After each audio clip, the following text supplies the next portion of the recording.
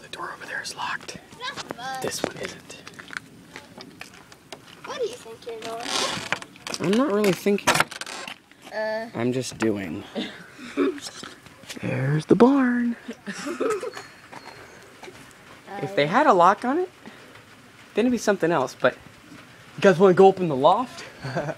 Just kidding. Let me at least get a panoramic view. I hope I'm not steady, stepping in poo. There we go. It smells like a barn in there. please Obviously. Step. Please step. Please step. Yeah, I'm gonna pass.